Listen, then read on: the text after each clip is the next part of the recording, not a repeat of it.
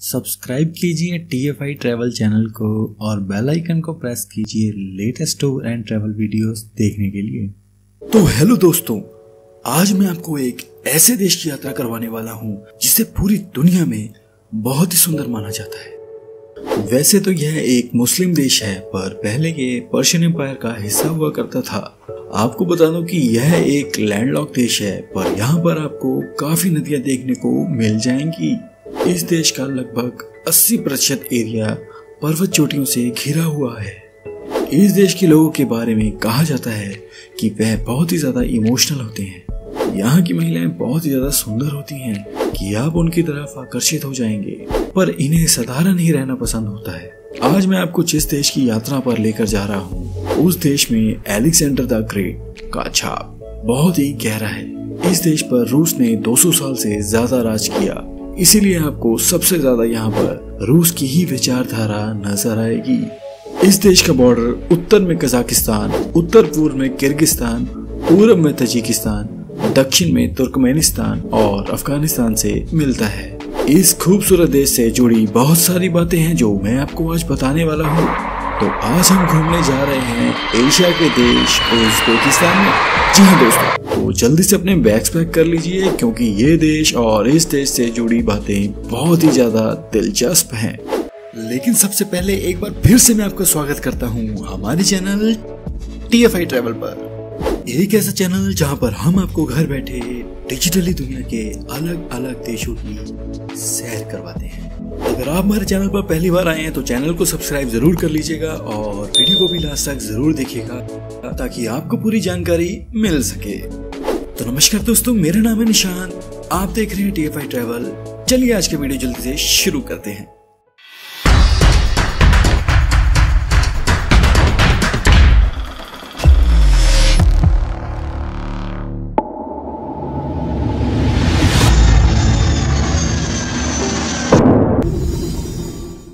तो दोस्तों, उज्बेकिस्तान मध्य एशिया का एक खूबसूरत देश है, जो अपने प्राचीन इतिहास, सुंदर वास्तुकला और विविध संस्कृति के लिए विश्व भर में जाना जाता है। उज्बेकिस्तान का आधिकारिक नाम रिपब्लिक ऑफ़ उज्बेकिस्तान है। आपको बता दें कि इस देश की कुल जनसंख्या करीब तीन करोड़ के आसपास है और यह दुनिया में सबसे ज़्यादा जनसंख्या के मामले में बयालीसवे नंबर पर आता है। उज्बेकिस्तान करीब चार लाख सैतालीस हज़ार चार सौ वर्ग किलोमीटर में फैला हुआ है। यह क्षेत्रफल के हिसाब से दुनिया का फिफ्टी सिक्सवा सबसे बड़ा देश है। यहाँ के 51 परसेंट लोग शहर में रहते हैं और 49 परसेंट लोग गाँव में रहते हैं। दोस्तों, उज्बेकिस्तान के मौसम की बात करें तो यहाँ पर गर्मियों का टेम्परेचर 40 डिग्री तक चला जाता है और सर्दियों में यहाँ का टेम्परेचर माइनस तेईस डिग्री तक नीचे चला जाता है। उज्बेकिस्तान की राजधानी है ताशकंद, जो कि यहाँ का सबसे बड़ा शहर है और सबसे खूबसूरत सिटी भी। लेकिन आपको बता दें कि 1968 में यहाँ पर काफ़ी बड़ा भूकंप आया था, जिसमें हज़ारों लोग बेघर हो गए थे और ये शहर पूरी तरह बर्बाद हो गया था। लेकिन अंत में एक बार फिर से इसे बसाया गया। और आज के इस देश की राजधानी है। दोस्तों, इस देश में कॉटन का बिज़नेस बड़े जोरों पर रहता है। यहाँ से कॉटन का एक्सपोर्ट लगभग हर देश में किया जाता है। आपको बता दें कि यहाँ पर हर साल कुछ महीने ऐसे भी आते हैं जब स्टूडेंट्स डॉक्टर्स और बाकी तरह तरह के सरकारी वर्कर्स ये सब सरकार के लिए कॉटन फ़ील्ड में काम करते हैं और कॉटन को खेत से चुनते हैं। तो है ना दोस्तों, काफ़ी अच्छी बात। यहाँ पर कॉटन को व्हाइट गोल्ड भी कहा जाता है। और कहा भी क्यों ना जाए? क्योंकि इस देश की इकोनॉमी की गाड़ी इसी से तो चलती है। आपको बता दूँ कि यहाँ के टोटल इनकम रिसोर्सेज में सात परसेंट का हिस्सा जो कि कॉटन से आता है, उज्बेकिस्तान के लोगों के बारे में कहा जाता है कि वो बहुत ही ज़्यादा इमोशनल टाइप के होते हैं। कहने का मतलब ये है कि यहाँ के लोग छोटी सी बात पर भी बुरा मान सकते हैं। कई बार छोटी सी बात होने पर वो उसे बड़ा सा इशू बना देते हैं। यहाँ की लड़कियों के बारे में भी कहा जाता है कि अगर उसने एक बार अपना दिल किसी को दे दिया तो फिर वो हमेशा के लिए उसी की ही रहती है। आपको बताने की उज्बेकिस्तान की आधिकारिक भाषा उज्बेक है। यहाँ पर हर जगह उज्बेक भाषा बोली जाती है, पर वैसे इस देश पर रूस का राज रहा है, और वो भी 200 साल से ज़्यादा। इसीलिए आपको यहाँ पर दूसरी सबसे ज़्यादा बोलने वाली भाषा रशियन भी सुनने को मिल जाएगी। वैसे आपको बता दो कि यहाँ पर आपको इंग्लिश समझाने वाले लोग भी मिल जाएँगे। उज्बेकिस्तान की संस्कृति और परंपरा के अनुसार बड़ों का आदर प्राचीन समय से चला आ रहा है। उदाहरण के तौर पर उज्बेकिस्तान के बड़े बुज़ुर्गों का बेहद आदर किया जाता है और वह उनसे कभी भी ऊँची आवाज़ में बात नहीं करते। उज्बेक परंपरा के अनुसार सबसे सम्मानित अतिथि को घर के प्रवेश द्वार से दूर बैठाकर आदर सम्मान दिया जाता है। तो भाई, क्या बात है? दोस्तों, आपको बता दें कि इस देश ने भी कई तरह की कठिनाइयाँ सही हैं। उन्नीसवी सदी में यह बढ़ते हुए रूसी साम्राज्य और 1924 में सोवियत संघ का सदस्य बना। 20 जून 1990 को उज्बेकिस्तान ने अपनी राज्य संप्रदा घोषित की। साल उन्नीस सौ इक्यानवे में सोवियत यूनियन के टूटने के बाद उज्बेकिस्तान ने अपनी स्वतंत्रता प्राप्त की और एक संविधानिक गणतंत्र बन गया। उससे पहले तो इस देश पर किसी न किसी देश ने बस राज ही किया हुआ था। दोस्तों, आपको बता दें कि उज्बेकिस्तान लगभग 80 टन सोना एक साल में खदानों में से निकालता है, जो कि दुनिया में सातवें नंबर पर आता है। उज्बेकिस्तान विश्व का दूसरा सबसे बड़ा कपास निर्यातक तो है ही, साथ ही साथ सोना, तेल, प्राकृतिक गैस और यूरेनियम भी निर्यात करता है। उज्बेकिस्तान पांचवा सबसे बड़ा कपास उत्पादक देश है और इस देश की अर्थव्यवस्था में कपास की खेती का बहुत महत्व है। कहते हैं कि यहाँ का सोना कई देशों में बहुत पॉपुलर है, इसीलिए तो यहाँ से बड़े लेवल पर सोने को एक्सपोर्ट किया जाता है। यहाँ से कई देशों में प्राकृतिक गैस को भी सप्लाई किया जाता है, क्योंकि यह देश प्राकृतिक गैस उत्पादन में दुनिया में ग्यारहवें स्थान पर आता है। आपको बता दें कि इस देश में ब्रेड काफ़ी ज़्यादा पॉपुलर है। इसीलिए आपको कई तरह की ब्रेड यहाँ पर खाने को मिल जाएगी। यहाँ के बारे में यह भी कहा जाता है कि अगर आप ब्रेड की शौकीन हैं तो यह देश आपके लिए किसी जन्नत से कम नहीं है। यहाँ पर आपको सुबह से शाम तक कई तरह की ब्रेड से बनी चीज़ें खाने को मिल जाती हैं। और वैसे भी यहाँ की गवर्नमेंट इसका अब एक्सपोर्ट भी करने लगी है। पलोव पलोव उज्बेकिस्तान का नेशनल फ़ूड है। इसे बनाने के लिए चावल, प्याज, गाजर और मीट का इस्तेमाल किया जाता है। कई लोगों की धारणा ये है कि इस डिश का निर्माण महान सिकंदर के बावर्चियों द्वारा किया गया था। हालाँकि यहाँ के लोगों का यह भी मानना है कि इसे सबसे पहले यहाँ के ही लोगों ने बनाया था। खैर छोड़िए, किसने बनाया था और किसने नहीं। बस एक बात जान लीजिए कि ये खाने में होता है ज़बरदस्त। आप भी इसे एक बार ज़रूर खाइएगा। अगर इस देश को घूमने चाहे तो ग्रीन टी। इस देश का प्रतिदिन पिए जाने वाला लोकप्रिय पेय पदार्थ है। उज्बेकिस्तान के लोगों को तरह तरह के भोजन करना पसंद है। उदाहरण के तौर पर इन लोगों के भोजन में ईरानी,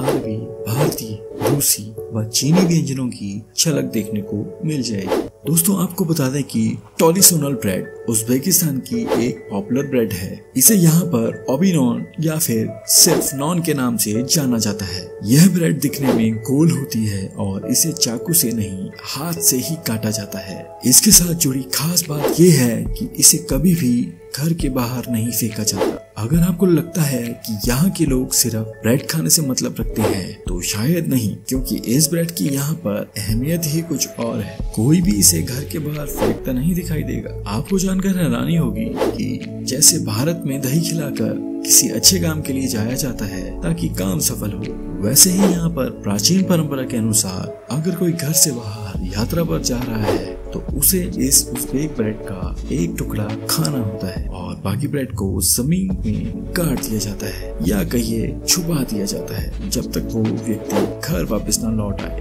भाई, क्या बात है। सच में सब लोगों की सोच लगभग एक जैसी ही होती है, पर तरीका अलग अलग वैसे आपको बता दूँ कि एक और भी ब्रेड यहाँ पर काफ़ी खास है। वो है लैप्योश का ब्रेड इस ब्रेड को लेकर भी एक अजीब प्रथा प्रचलित है। जी हाँ दोस्तों लैप्योश का ब्रेड को कभी भी उल्टा करके नहीं खाया खाया जाता और ना ही इसे ज़मीन पर रखा जाता है। चाहे फिर यह किसी बैग के अंदर भी क्यों ना हो। इस ब्रेड को लेकर कहा जाता है, अगर इसे उल्टा किया जाता है तो वह जीवन में बुरी किस्मत और दुख दर्द का प्रतीक बन जाता है। तो है ना दोस्तों, काफ़ी इंटरेस्टिंग दोस्तों, उज्बेकिस्तान के बारे में एक बात बहुत ही फ़ेमस है कि यहाँ के लोगों में खेल को लेकर बहुत ही क्रेज है। यहाँ पर आपको स्पोर्ट्स लेवल की कमी नज़र नहीं आएगी। फुटबॉल यहाँ की सबसे पॉपुलर गेम है। वैसे यहाँ पर बच्चों में अलग अलग स्पोर्ट्स को लेकर बहुत क्रेज है। इसीलिए स्कूल से सभी स्पोर्ट्स को प्रमोट किया जाता है। यहाँ के अन्य पॉपुलर स्पोर्ट्स में शामिल है tennis chess baseball judo basketball और टाइक्वांडो उज्बेकिस्तान के लोगों के बारे में कहा जाता है कि वो बाहर के लोगों से ज़्यादा इंटरेक्ट नहीं करते। कहने का मतलब ये है कि वो अपने ही लोगों से ज़्यादा घुलते मिलते नज़र आएँगे। यहाँ पर अपनी प्राइवेसी को सबसे पहले रखा जाता है। यहाँ पर अपनी फैमिली को ही सब कुछ माना जाता है। अगर फैमिली आपके साथ है सबसे धनी है और फैमिली आपके साथ नहीं तो आपके पास कुछ भी नहीं है। तो दोस्तों, सोच तो यहाँ पर काफ़ी अच्छी है। दोस्तों, आपको बता दूँ कि उज्बेकिस्तान में वहाँ की संस्कृति के अनुसार अभिवादन के लिए हाथ मिलाने की प्रथा पुरुषों तक ही सीमित है। लेकिन एक उज्बेक महिला का अभिवादन करने के लिए यहाँ के पुरुषों को अपने दाहिने हाथ को दिल पर रखकर नमन करते हुए करना होता है। अगर आपने महिला को भी हाथ मिलाने के लिए ऑफ़र कर दिया तो यहाँ पर आपको गलत माना जाता है। इसीलिए तो कहा जाता है कि आप बस यहाँ की महिला को सिर झुकाकर एक पेश कर सकते हैं। चलिए फिर आप दोस्तों जान लेते हैं कि आप उज्बेकिस्तान में कौन कौन सी जगहों पर घूम सकते हैं। तो सबसे पहले है लेक चरवा ताशकन यह लेक दोस्तों उज्बेकिस्तान की सबसे पॉपुलर लेक के रूप में जानी जाती है। यहाँ का नज़ारा बहुत ही सुंदर है और आपको यहाँ हज़ारों टूरिस्ट छुट्टी वाले दिन देखने को मिल जाएँगे। बाहर के देश से तो यहाँ लोग आते ही आते हैं। साथ ही दोस्तों, यहाँ पर लोकल लोगों की भी भीड़ नज़र आती है। ये इस देश का सबसे पसंद किया जाने वाला और बेस्ट हॉलीडे डेस्टिनेशन माना जाता है। क्योंकि अगर आप यहाँ घूमने जाएँगे तो आप भी कहेंगे कि ये डेस्टिनेशन है टॉप क्लास यहाँ पर आप अपने परिवार के साथ कुछ अच्छा समय बिता सकते हैं और लेक में तैर भी सकते हैं। यहाँ पर आपको रहने के लिए होटल्स भी काफ़ी अच्छी वैरायटी मिल जाएगी। नेक्स्ट है दोस्तों, लाल बहादुर शास्त्री मेमोरियल ताशकंद। चलिए अब आपको दिखा देते हैं कि भारत और उज्बेकिस्तान के बीच कितना गहरा रिश्ता है। आप जब भी इस देश को घूमने चाहें तो एक बार लाल बहादुर शास्त्री मेमोरियल तो ज़रूर देखिएगा। यहाँ के लोगों में लाल बहादुर शास्त्री जी को लेकर बहुत इज़्ज़त है। यहाँ के लोग ये मानते हैं कि जब किसी देश ने उनकी मदद नहीं की थी तो भारत ने ही दोस्ती का हाथ आगे बढ़ाया था। साथ ही यहाँ पर यह भी कहा जाता है कि यहाँ पर हिंदुस्तानी लोगों का दिल खोल कर स्वागत किया जाता है। यह देखकर आप प्रेरित भी हो सकते हैं कि भारत ने निस्वार्थ भाव से दूसरे देश से दोस्ती की और साथ ही साथ उनकी मदद भी। Tashkent to Samarkand bullet train. दोस्तों, आप तो जानते ही हैं कि भारत में अभी तक कोई हाई स्पीड ट्रेन नहीं आई है। मे भी शायद जल्दी ही आ जाए। लेकिन अगर आपको उज्बेकिस्तान जाने का मौका मिलता है तो आप यहाँ की हाई स्पीड बुलेट ट्रेन में घूमने का आनंद ले सकते हैं। आपको जानकर हैरानी होगी कि यहाँ की हाई स्पीड ट्रेन की रफ्तार कुछ 250 से 300 किलोमीटर प्रति घंटे की है। यह रेल लाइन 344 किलोमीटर लंबी है, जो ताशकंद को समरकंद से जोड़ती है। यह मार्ग चार प्रांतों से होकर गुजरता है। ताशकंद, सिरदार जिजक और अंत में समरकंद। इसलिए आपको घूमने में तो बड़ा ही मज़ा आने वाला है। इस ट्रेन में आपको इकोनॉमी क्लास, बिज़नेस क्लास और फ़र्स्ट क्लास देखने को मिल जाएगी। यह ट्रेन देश की राजधानी ताशकंद से शुरू होकर समरकंद छोड़ती है। अगर आप अपनी फैमिली के साथ इस ट्रेन में सफ़र करने की सोच रहे हैं तो यकीन मानिए आपका सफ़र बहुत ही दिलचस्प होने वाला है। Amir Timur museum. Amir Timur museum मध्यकालीन वास्तुकला की परंपराओं के अनुसार बनाया गया था। यह आधुनिक आवश्यकताओं को को संतुष्ट करता है। इस संग्रहालय का नीला कपोला समरकंद के कुर ए आमेर मकबरे से मिलता जुलता है। ये म्यूज़ियम इतना पॉपुलर और अट्रैक्टिव है कि सालाना दो मिलियन से अधिक विजिटर्स को आकर्षित करता है। यहाँ पर आपको 5000 से ज़्यादा कलाकृतियाँ देखने को मिल जाएँगी, जिसमें से 2000 से ज़्यादा प्रदर्शनी हॉल में देखने के लिए प्रदर्शित की गई हैं। इनके अलावा कई और भी जगहें हैं जिन्हें आप घूम सकते हैं, जिनमें शामिल है शारी साहब Khiva, Hast Imam square, Kalyan mosque Bukhara and Registan square. Uzbekistan जाने के लिए आपको दिल्ली या मुंबई से ताशकंद की फ्लाइट्स आसानी से मिल जाएँगी। आप टर्किश एयरलाइंस को ऑनलाइन बुक कर सकते हैं यहाँ जाने के लिए। यहाँ की ऑफिशियल करेंसी उज्बेकिस्तान सोम है करीबन एक सौ चौतालीस उज्बेक सोम मिलाकर एक भारतीय रुपये के बराबर होता है। यहाँ जाने के लिए आपको